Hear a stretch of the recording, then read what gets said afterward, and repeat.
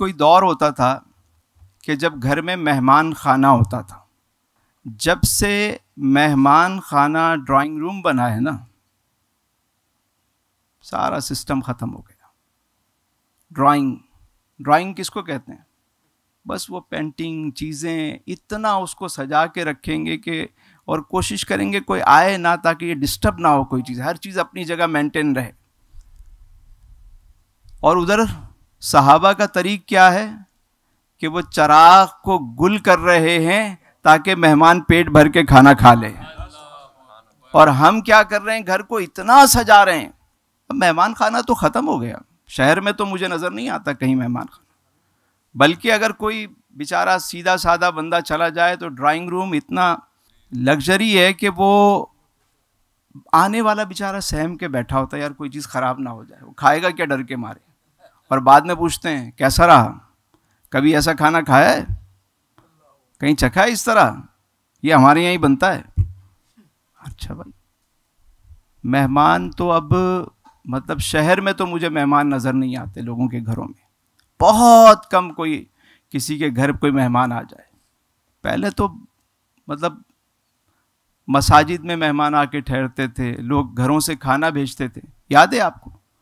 मतलब मुझे याद है, बचपन में रोज़ाना रात को शाम में वालदा देती थी खाना कि मस्जिद में देकर आओ। और घर में खाना जब भी पकता था तो पड़ोस में ज़रूर जाता था। कहीं ना कहीं जाता था। लोग बांटते थे।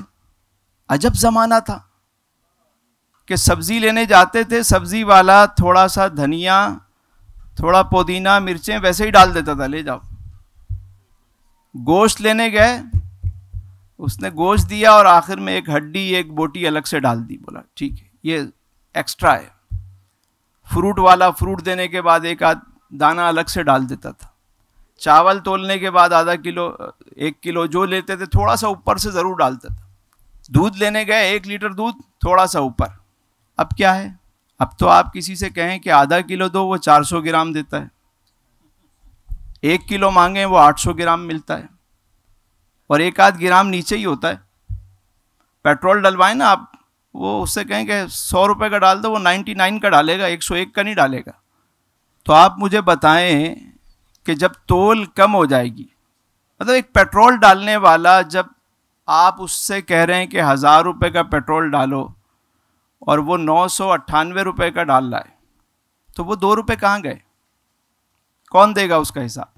माशरे में तो अब इसको कोई बुरा ही नहीं समझ रहा ना। यानी जो जो मुसलमानों का तरीक था कि ज़्यादा देना है, अब वहाँ कम दिया जा रहा है। एक्स्ट्रा देने का तो तस्वुर ही गायब हो गया। डंडी मारना शुरू कर दी माशरे ने। तो क्या हुआ कि बरकत ख़त्म हो गई।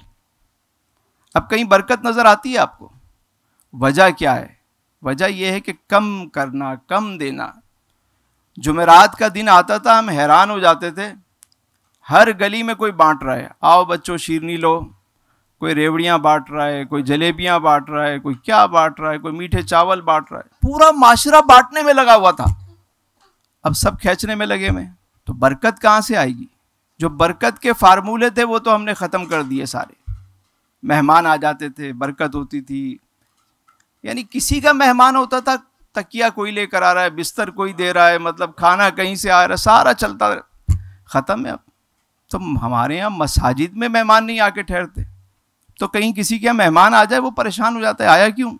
तो जो दीन था, जो तरीक था, वो हमने आहिस्ता आहिस्ता उसको भुला दिया।